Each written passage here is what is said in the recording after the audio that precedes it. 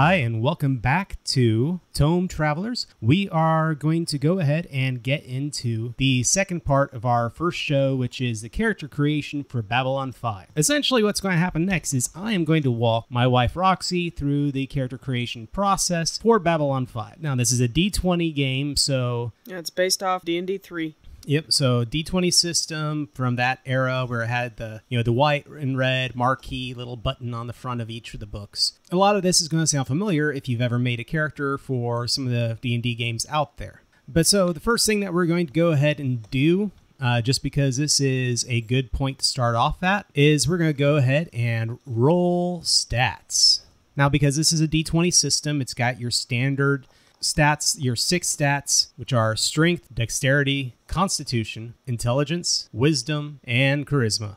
But we're going to go ahead when we roll the stats just to kind of streamline things a bit and make this a little bit easier. What we're going to do is we're going to roll 4d6 and we're going to drop the lowest dice, and that'll give us a good value between 3 and 18. Are we re-rolling ones? Uh, let's not go ahead and re-roll ones this time, and we'll just go ahead and do straight rolls, and that'll give us a good idea. A lot of tables sometimes go for the re-rolling ones, so you have an average character. Some people even do re-rolling one and two, but we'll go ahead and just do it straight roll this time, because that'll give us a wide range of stats to work with. All right. So my first roll is thirteen. Okay. Two, five, and six.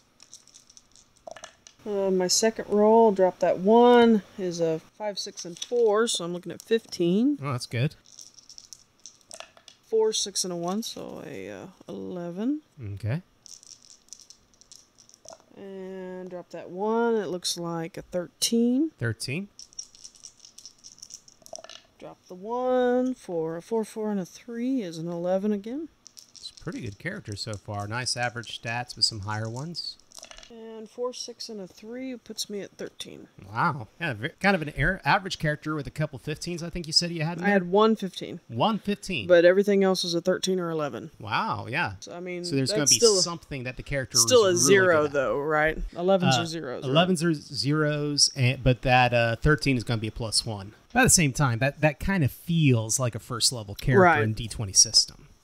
Oh yeah, All right. So the, No, I'm fine with that. So I would ask at this point, going forward with the character, what kind of concept you have for them. Well, based on our discussion that we just had, and uh, remember, audience, that I have a very limited knowledge of Babylon 5 as a whole. So, trying to create a character that would fit in this world is a little difficult for me. Trying to. Um, because I'm kind of just cramming on what I'm reading in the book and what I remember. I am going to build a Centauri, but my character type, and I'm trying to see if this is even really plausible with their social structure. But I was going to build, uh, since I'm a little bit more familiar with Star Trek Deep Space 9 I going to try to build a Quark, the Ferengi merchant. I I think that would be definitely possible because both both those races have kind of a leaning towards power accumulation as well as yeah, the, political. the Centauri. Yeah, the Centauri. According to this, they delight in scheming and politicking, and Centauri society provides rich opportunities for both. So they're almost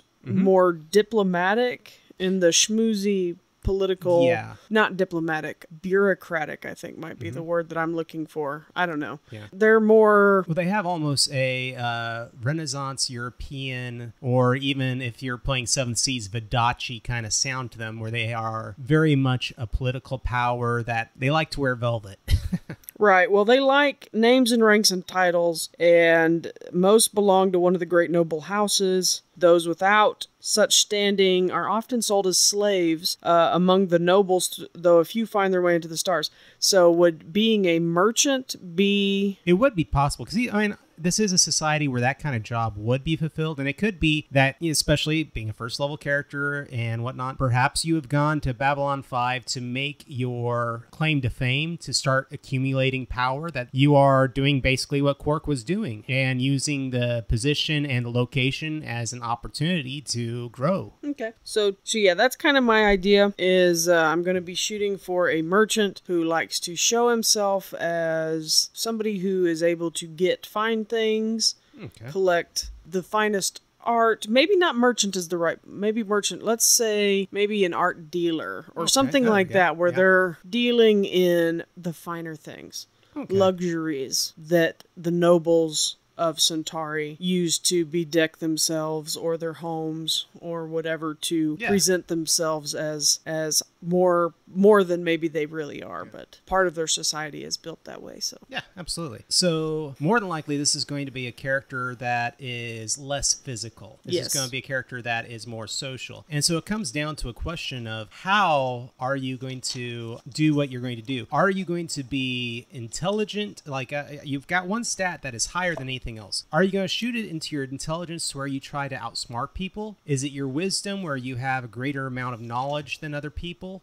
Or is it your charisma? Is your charisma your strong Well- point where you try and manipulate or are inspiring to Well, since looking at the stats or looking at the racial traits, Centauri already get a bump on their charisma. Mm-hmm. So I'll probably reserve my charisma for one of the lower numbers because I get a natural bump. Okay. And then save my big one in the event I get something that's knocked down. Um, Okay. So let's go ahead and start that part off. yeah, so I know my strength is going to be an 11 because I'm a weak. I'm a weakie. Um, my dexterity, I'll put my constitution at a 13. okay. Since it's kind of my middle of the road number. Yeah. I am gonna bump. I'm gonna keep my intelligence at a. If I put my 13, if I put another 13 in intelligence, then I'm gonna get. No, I get to keep that. So I'll keep that there. It's my wisdom. If I put a 13 in wisdom, It drops. it's to- gonna drop down to 11. Okay. So I don't want to put an 11 in there. I'm not even sure I want to put my 15 in there. Or if I want to keep my 15 as something I might. Do you think dexterity would be something that someone with a social It would help if you see yourself as ever getting into a confrontational situation because dexterity is going to be your ability to avoid damage as well as do ranged damage, which is a big part of this universe. Yeah, I kind of like the thought of my dex bumped up. Perhaps maybe I have now. This is my this is my uh, fantasy mythos uh, kicking in, but perhaps I have a history and uh, can pickpocket or something like that. Oh, that's great. Yeah, no. So I'll put a 15 in my dex, mark it off. I do get a plus two to my charisma, so if I put a 13 in there, I get the 15. Mhm. That leaves me with an 11. Ooh, no, no, no, no, no. Do I want to do that? Let me take out that uh, 13 in intelligence. Mhm. I'm going to make that an 11. My wisdom will then be 11 because it's a minus two. I would rather have everything at a. Makes sense. I don't know, that might be a bad move, but that's what I'm doing. One, two, three, four, five, six, seven. Well, that's one thing with the D20 system is know your strengths and play to them. Yeah. Oh, do I have too many 11s in there?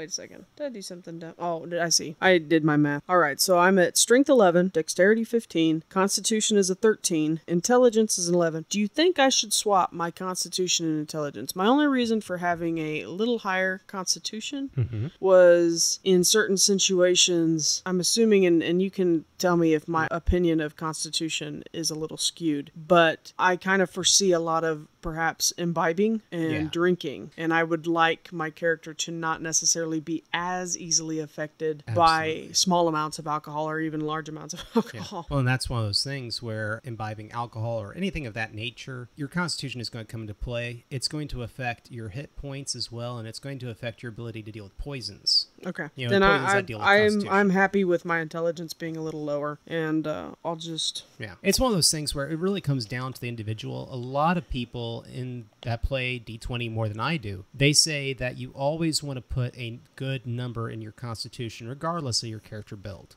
Right. I myself, I usually tend towards just doing an average number in there, but that's just me. I mean, it's Yeah. always up to the person and how they are going to play the character. Yeah, okie dokie. I will go with that. So it says So now you have your racial things that'll add or subtract to it. Right, and so I have the minus two in wisdom and the plus two in charisma, so that puts uh, those stats at 11 and 15 respectively. Okay. Uh, so yeah, uh, so you said 11s or zeros? 11s or zeros. Do we go ahead and do that now? Is, is it okay It to start yeah. Working on the mods now? or At this point in this system, uh, they did not really make it to where you're going to get anything that's going to affect it. It, it didn't look like it. So, Yeah. and a 15 is a 2, A 15 will be a 2 and a 13 is a plus 1. plus 1. All right. So yeah, I have three zeros, two plus twos, and a plus 1. Excellent. So now comes the fun part. I mean, we've got your character, we've got your race, and we have your class. Right. So the classes are a there's a small highlighted section at the end of the races that gives you the list of classes, or we can just go ahead and piece through. Well, and and this looks like it has favored classes. Favored classes come into play if you're going to have a character that multi classes.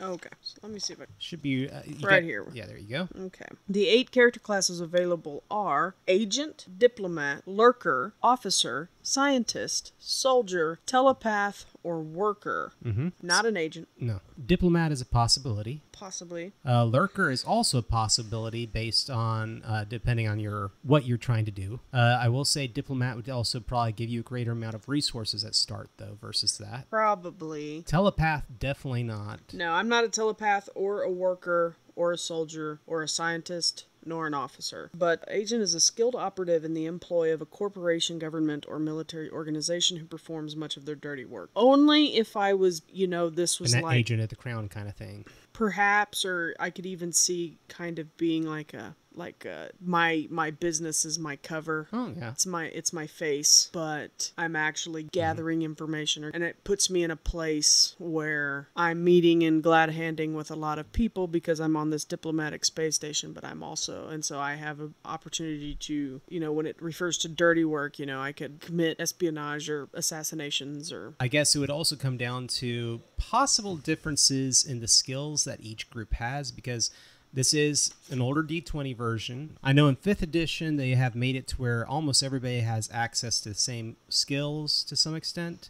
Uh, there are some that they not everybody has. It all depends on where you put points. You know, 3rd edition, they really hardline limited you to skills for your class right and anything beyond that would cost double. If you wanted a skill that you normally wouldn't have, it was going to cost you double points. what is the armadillo looking race Quite honestly, I don't remember. There are so many. Uh, it's it's that Does uh, it suffer from Star Wars where it's it's, just Star Wars Cantina scene. just throw in a bunch of prosthetics and see what people pick up on? Yep. All right. They really like it. We'll create a backstory for it. After. Yep. Let's go ahead. Would I mean does diplomat fit? That's that's that's where I'm having a hard time is is and this would be this would be where I would say the system is very restrictive. Yes. Um is it because Babylon 5 would not have place for merchants? No, in fact, there is a location called the Zocalo on Babylon 5, which is basically this gigantic market. And a lot of the scenes in the series take place there. In fact, there is a bar that is very much everything like Quark's Bar. Okay. So, and the, yeah, I guess he owned a bar, didn't he? Yeah. He wasn't necessarily just a merchant, but And so the, the- it is a restrictive system, but again, this is the fun of D20 is that you can always pull in things from other systems that might fit better as long as the terms and use can be assimilated to some extent and if you have a DM willing to work with you and whatnot. But so in this system, what I would say is that it might be better not to look at the terms as official titles of any sort, but look at them more as a behavior. Mm-hmm. I mean, does your character have an agent like behavior, or does your character have more of a diplomat kind of behavior? Even though they might not be a diplomat of the government,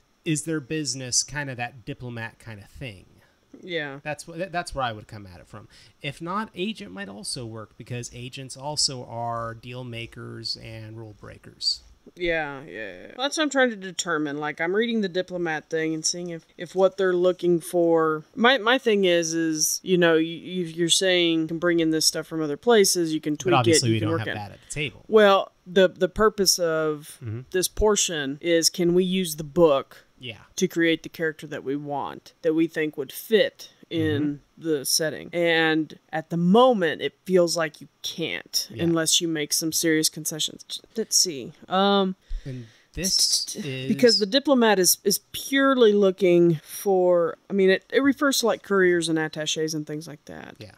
okay so yeah for class for class i think i'm going to go with i'm going to modify my concept a little bit and i'm going to go with the uh, agent. I gotta find it again. Second lots of page flipping. Yeah, and I will say that about this book, especially when it comes to character creation. That's one of my peeves with some series out there is that they put a ton of fluff at the opening of the book that the players don't always need, and it can really slow down character creation. But because they have put, you know, a lot of games have put it right at the front, it makes it to where your players can come in, create their characters, and not have too many of the secrets that you might want to reveal to them in the game as the game goes on. so this Right, is, right. I, I kind of like this layout. Okay. See, my thing with the um, the agent, I wouldn't necessarily like if we were actually playing this.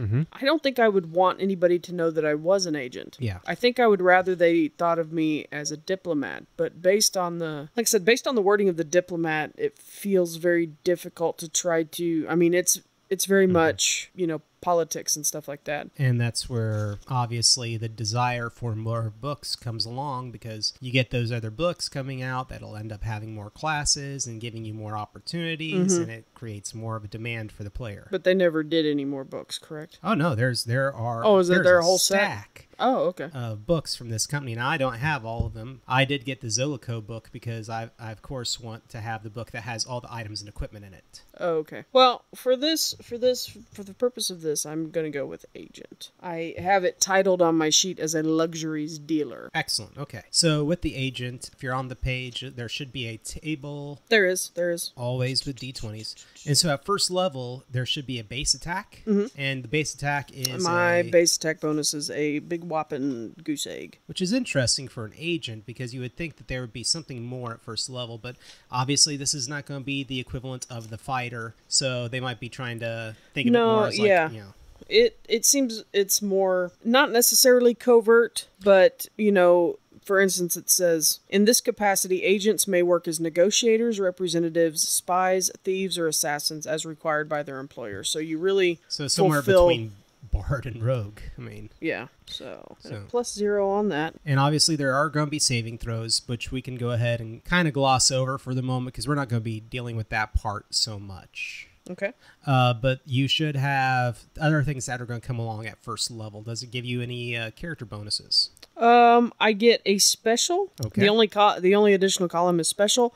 And it says security systems, which it says um, looks like is a class skill. All right. or it's under the class skills header, and it says agents may use the search skill to locate security devices and systems when the task has a DC greater than 20. Okay, so that is definitely a rogue-like talent where kind of like in third edition the rogues could find traps.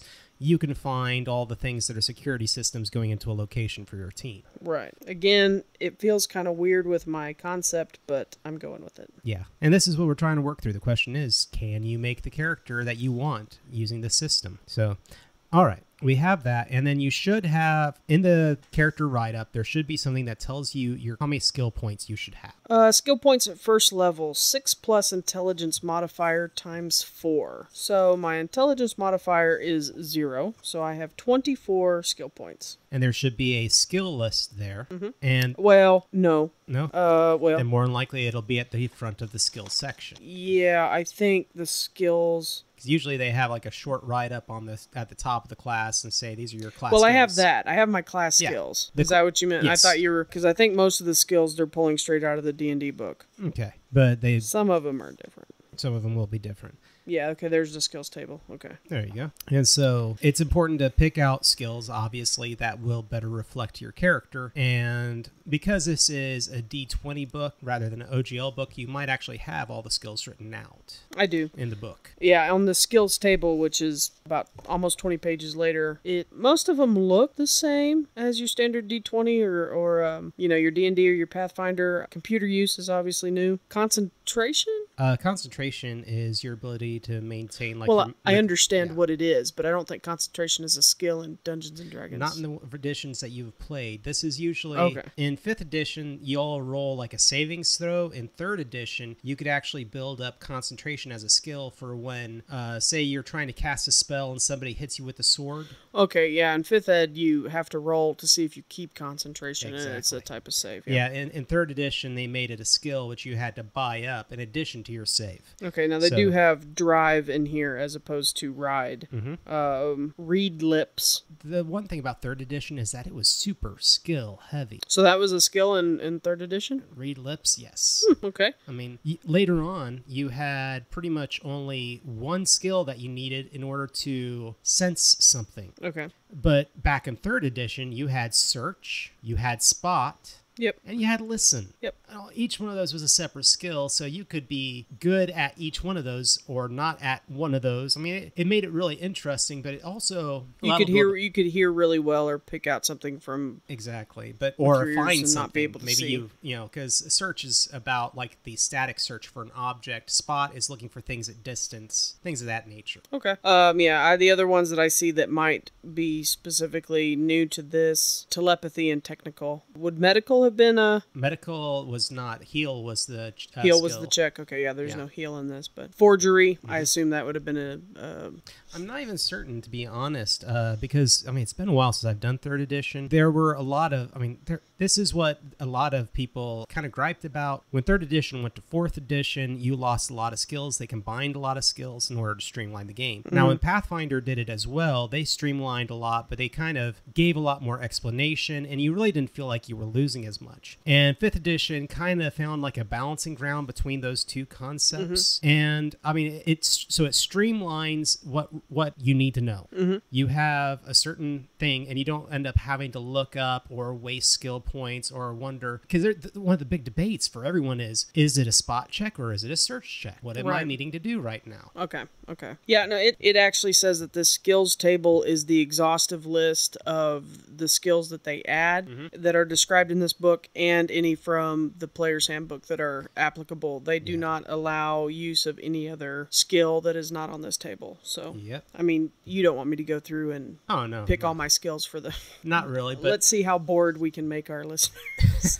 Me trying to pick skills. But so 24 skill points, and the reason that's done was Pathfinder, your class skill, you get you get a plus three bump right off the bat to your skill, and that gives you a little bit of a bonus to say, "Hey, I'm trained in this." In this game, in in uh, D&D Third Edition, you didn't get that bump. It was basically you get your attribute bonus plus however many points you put into it up to a maximum of four at first level. Oh, okay. And so you had to you had to earn every last point, but 24 skill points that also makes it very long and hard to do character creation. Yeah, that's a that's a lot. I mean, if my intelligence modifier had been anything else, I mean, you're Yeah. it, it grows exponentially. And so if you- you're playing like a really smart character, you're looking at, you know, possibly up to 7 times 4, so 28 character points right off the bat if not more. Mm-hmm. And so yeah, it, it- can make character creation take a long time at that era of gaming. Now, at the same time for a, versus a point buy system, this is mm-hmm. still faster. right. But yeah, you can see the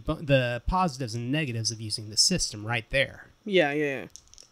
Sorry, my starting wealth is twelve hundred credits. That actually sounds pretty good. Yeah, three d six times hundred. So two fives and a two. All right. So what's after skills? Well, usually with skills, we would look at your character's defense, we would look at uh, your character's savings throws, but we really don't need to go that far in depth per se. But one of the things that is going to also always influence a character creation for the D20 system be feats.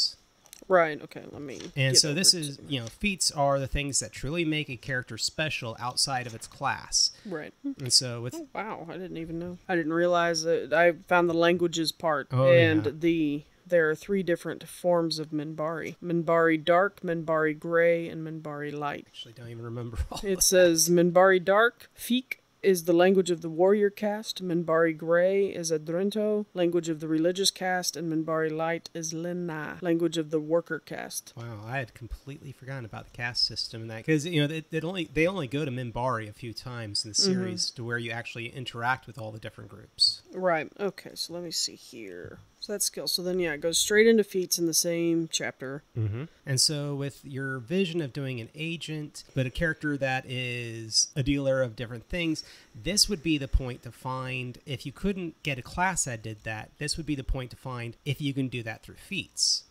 Because again, third edition didn't have backgrounds. Right. So, I mean, Pathfinder, you have your different traits that can build up your character towards a certain goal. Mm-hmm. And in fifth edition D and D, you have a background that would give kind of a backstory to your character, to where you could say this is what they did or this is what they do. And in, in third edition, in games based off the D twenty module, it all comes down to feats. Mm-hmm. So, do you see any feats in there that kind of Uh, capture and how many? It How many a- do I get? Does it say? you're first level and you're not human, so you get one. Okay. Yeah, this has the the same the same kind of line. It's um, the following feats from Chapter Five of the Player's Handbook are used without change within the the Babylon Five role playing game. So they list all those. So it's got some of the familiar ones like um, Far Shot, Quick Draw, Rapid Shot, Run, Two Weapon Fighting, Weapon Focus, Improved Trip. Stuff like that. Yeah. And then, but it's got a massive list of feats, including racial feats and telepath feats. Telepath feats are out. Yeah. Racial feats, maybe it depends on if I find any that apply specifically to Centauri, and I kind of Don't really kind see of doubt it. out at you. Well, one of uh, as far as feats that might have jumped out at me, contact. I was gonna look it up and see what that meant. What, Um, so this again is going to be one of the fallbacks or the issues that you're going to have with a D20 game, especially dealing with feats, Mm-hmm. is that it comes down to what kind of DM you have. It's character creation. A lot of times you can justify a lot of stuff, and if you have a good DM that is interested in the story side of stuff, Mm-hmm. he might be able to say or look at you and say, okay, based on your character backstory and everything else, this is what you're going to have. You're going to have this business, and you're going to have recently set up shop, and here's all these things, and we'll go ahead and go at it from this angle. Uh, but without that feat, some of the more hard edged kind of GMs out there, they will instead turn around and say, well, if it's not on the paper, you don't have it. I could, uh, as a Centauri, I could have the feat of prehensile tentacles. That's always fun. I'd have to be a, I'd have to be a male, which I'd already anticipated, but it just made me laugh. But no, contact I think is probably where I would lean for my first one, just because you know the value of friends and favors, and have cultivated one particular relationship in order to provide you with great benefits, and it requires a charisma 15 plus, and so I'm already sitting there. But yeah, there were a couple noble birth, but I wasn't gonna go with that one. Mm-hmm. But so, kind of getting in there and finding a feat that almost works to some extent, at least gives you a backstory. And I myself, I'm a story based. I would say, okay, you have a shop. Here's what we're going to do with it. Right. And that would be something you work out with me. But like I said, and you know DMs who are like that, where they are very much, if it's not on the paper, you don't have it. Right. And that's that's unfortunately a good point to close out on with the D20 system with this. Mm-hmm. You know, after character creation. And that is, does the Babylon 5 system set out to do I mean, do you feel like you could make a character based on the source material? With with my limited knowledge within reason, mm-hmm. And I myself, I would say, I, I would actually say no. And the reason I would say no is based on the character that you're going to make right off the bat in this book is going to be a character that I would I would consider a red shirt. You know, using the Star Trek term, but not using it as the joke, as the cannon fodder. I, I'm saying that this is the character that is in the background. In Star Trek, you know, there is Captain Kirk on the bridge, and then you've got all these other people that are nameless characters that seem to wander by and do their own thing and are part of the crew, granted, but they're not part of the show. Babylon 5 had the same thing with, uh, you know, with Garibaldi, with Ivanova, and these characters, they, they were the big wigs and they were the focus of the show, and there were all these people that worked around them and under them, but you really didn't get their story. The story was always about these bigger people. And so this game comes along and D20 system, you're making a first level character that would not be the principal characters of the show. Yes, you're playing in the universe. Yes, you're, you're getting this opportunity to be a part of it, but you are not the principal character. right? Now, I think there are greater systems that do this better. Obviously, the more cinematic style systems that are coming out now. I could see something based off of something like by John Wick or the 2D20 system that Modiphius is now using. Yeah. Where, you know, Modiphius, right off the bat in the new Star Trek games, you can play the captain, you can mm-hmm. play the doctor, you can play the security specialist who leads everybody. You pl- you're playing the crew that everybody looks up to. Right, and your your NPCs you can you can call on essentially first level red shirts. Yeah, exactly. To to accompany you as part of the system. and you have a ship in this game like i said there, there are those gms who are like if it's not on the paper you don't have it Yeah. what do you have and so that that's that's probably the drawback of the d20 system and this system now we, we've done a little research on it and we have heard other people say that there are issues with the game where the stats that you get for the races don't really match up Right. And I kind of wonder about that because the stars of Babylon 5 were not the normal kind of characters for their race.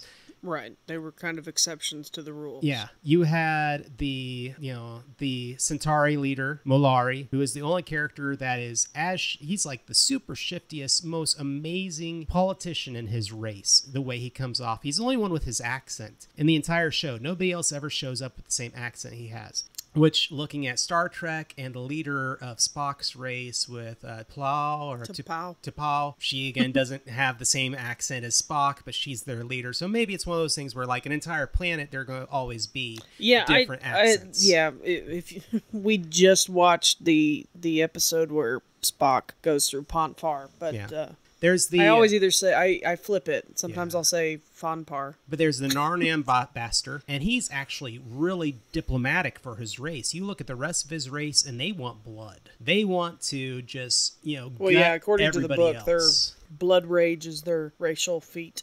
But he's more of a politician and likes to work behind the scenes and pull strings, and that's very atypical for his race. Mm-hmm. And then you have the what's the race that Delenn is part of? The Minbari. Yeah, the Minbari, and she is definitely an atypical Minbari. She even grows hair halfway through the series or something like that. You know, so it's one of those things where maybe to some extent a lot of the races were given kind of stereotypes based on the overall image, Mm-hmm. but you really don't feel like this, the races in here stand for the characters you know. Yeah, the argument that I had read when we were doing some research was was specifically that based on the show, they one of the focuses was the Minbari racial traits and penalties. Uh, in specific, they felt that they focused too much on the Minbari being xenophobic, where this individual, the original poster, felt that like Delenn and other people that you see commonly on the show yeah. Delenn was not could be could be could be very charismatic and shouldn't have to hold to that negative two penalty Yeah. on charisma. Yeah, in fact, the only ones that were really truly xenophobic were the warrior caste. So that's you know that looking back at it in my mind. Now, of course, when we have whenever we do our little Babylon Five thing down the road, uh, maybe I'll look at it a little bit more. But Yeah, that's, that's- what I remember. That's one thing I would uh, be interested after we watch Babylon 5 again to look at this book again and kind of see Mm-hmm. I mean, I don't want to say that it's that it doesn't have the spirit of the show, which Oh, is no. what the gentleman that I read online was kind of his opinion was it didn't feel like it captured the spirit of the show. I'm not going to go out and say that because J. Michael Straczynski was very active in the development of this book and it's it's his mind baby. So, um, what maybe maybe the show didn't capture his vision entirely. I think it did. I'm I'm not saying it didn't, but if you're having trouble finding the spirit of the show in the book, and apparently there was a second edition that that we do not have. Yeah. But and apparently in the second edition they did tweak some things and made people a little bit happier. But maybe maybe that was it. Maybe it was just a bad publish. Something Yeah. got pushed out. But I mean Matthew Sprange was the guy who wrote the the system itself. Uh, J. Michael Straczynski gave his blessing. That's pretty much the idea. You know, it, it is good. I, I will I will say I would not have bought it if I didn't like it, and it definitely captures the Babylon Five mythos. Okay. you definitely get the idea that yes, you are in the Babylon 5 universe. Yes, you have all this that you can work within, but does it capture the show? Not really. Okay. And so, for an enterprising GM, maybe you can always bump up the character level a little bit more, maybe level 5 or level 10, and that way the characters feel a little bit more in line with everything. Right. But yeah. Okay. So, anyway, that is the end of our first follow up show with character creation for Babylon 5. We would like to thank everyone for listening, and of course, Nerds Domain for giving us support and everything. We hope to see you back for the next one. Thank you very much. This has been a production of the Southgate Media Group. For more podcasts like this one, head over to southgatemediagroup.com.